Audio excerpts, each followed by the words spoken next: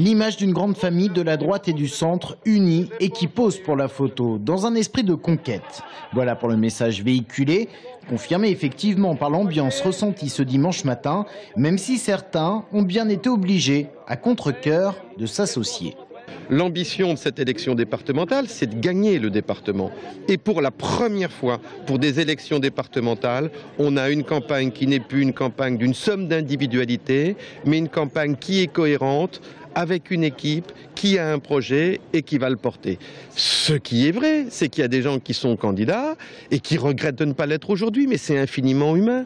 Mais gare à ceux qui souhaiteraient se maintenir en dissidence ici ou là, Philippe Briand brandit la menace de l'exclusion.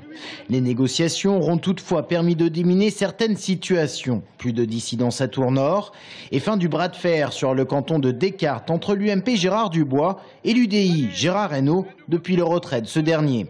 Faut-il encore ajouter les velléités déçues des colonistes Mais tout cela n'aura pas gâché ce lancement de campagne. Quand on croyez-moi, quand vous êtes en pleine restructuration, parce qu'il faut bien se souvenir qu'on est obligé de comprimer des cantons, qu'il y a des sortants qui ont été obligés de laisser leur place, quand vous avez, euh, lors d'un premier round de négociation, vous êtes d'accord sur 15 sur 19, le deuxième round, vous êtes d'accord sur 18 sur 19, ça veut dire que les choses se sont bien déroulées. Alors, le, les patrons de, la campagne. Quant aux deux ou trois prétendants déclarés à la présidence du Conseil général, là aussi, le maître mot, c'est l'union. Vous le saurez en son temps parce que ce sont les nouveaux élus qui vont élire. Une candidature d'union, UMP, UDI, divers droite. Ça mérite un coup de chapeau.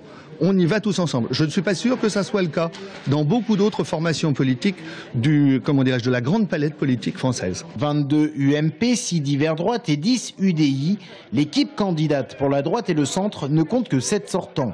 Parmi les autres candidats, quelques nouveaux sans mandat et beaucoup de nouveaux maires ou adjoints. C'est le cas notamment dans les cantons de Tours, où la droite et le centre visent le Grand Chelem et plus globalement la Radia en Indre-et-Loire. Mais attention au Front National qui pourrait être en embuscade.